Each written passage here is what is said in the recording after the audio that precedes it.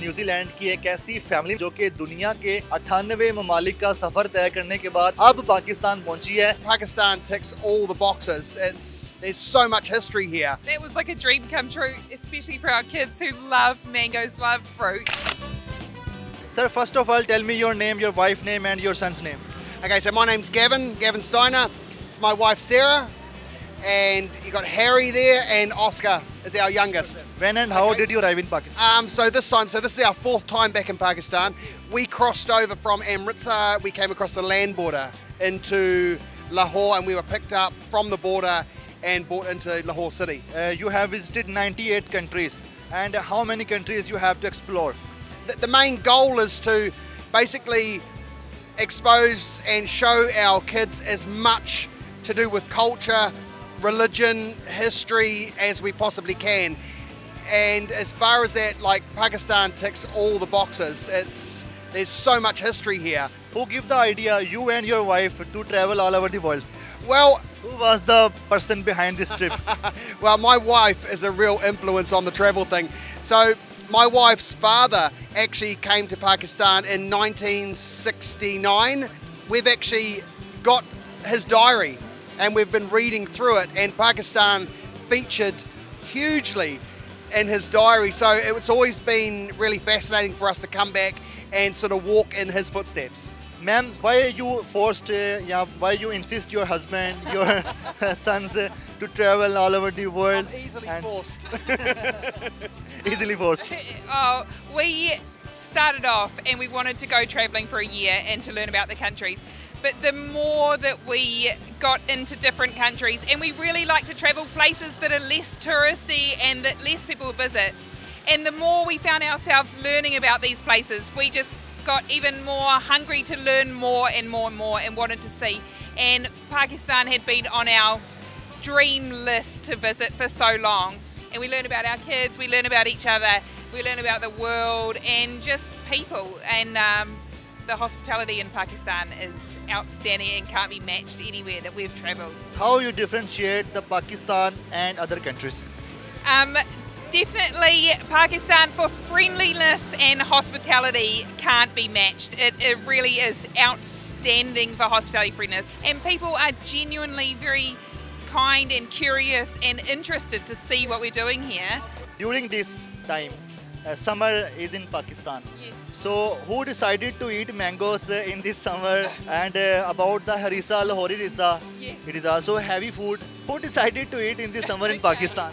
Well, okay, the mangoes, we had no idea Pakistan was so famous for mangoes. But so this year we're here and it's July, end of July now, and we didn't realize that is the mango festival, mango season. So that was like a dream come true, especially for our kids who love mangoes, love fruit. But this harissa we tried last, we were here last December in the winter and it's much colder. And Adil brought us to this harissa shop. And as soon as we came back this time, I said, Can you still eat harissa at this time of year? So we were looking forward to coming back already. Have you drink kachi lassi after the mango? Absolutely. I think I'm made up of lassi actually. I think I'm topped up with lassi. Uh, is it uh, heavy food to eat? Um, it is. It's um, it's very hearty. Gravy, so I guess it's a. It would definitely see us see you through to the morning. People say we shouldn't eat it in the, in this heat. Um, I love it anyway, but I can see how it's a good warming meal for a cold. Okay, tell me what you do in the New Zealand and uh, after how much time you plan to travel the any other country and uh, when you will go back to the New Zealand. Okay, so we've been traveling now for five and a half years. You mostly live in the travel, you mostly in the uh, travel uh, history.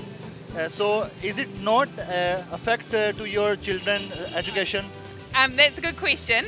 Um, no, so we we really really focus on the education as well is really important to us. Um, in New Zealand, I'm a teacher, um, so that's helpful too. But uh, so we do homeschooling, uh, which means we spend a couple of hours in the morning doing their schoolwork, and they have textbooks that are from New Zealand.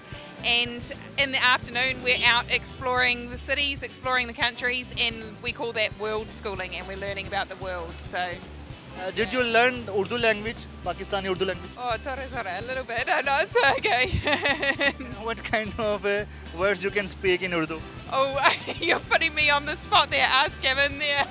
Uh, people mostly say after the heavy food, harippa. Oh, Hari, Haripa. Haripa. Okay, we'll remember that one. We, we always try, we always do our very best to um, learn the basics because everyone tries exceptionally hard to speak English to us. So we in turn um, learn the basics. Um, salam alaikum, wa alaikum salam. If I talk with you in Urdu, yeah, uh, you can understand the words. you want to give it a try? Uh, I'm asking you, uh, ये कैसे हैं? ये गुस्सा करते हैं या ये आपसे अच्छा रवैया रखते हैं? Uh, Is he angry or normal? okay. Norm- With you. Normal. It's a good one. okay. don't understand in Urdu. Yeah, if if anyone said to you Assalamu alaikum, what you will answer? Uh, wa alaikum salam. Okay, uh, any other words you have learned like uh, harippa and any other word? Um, I tell you one thing that's kind of stuck with us as a family is um, Bismillah. So there are sort of words that we. I mean, I, I love the greeting, Salam alaikum. I think it's, and you just see people's faces light up, and they love it. So for us, that's um, that's what it's all about.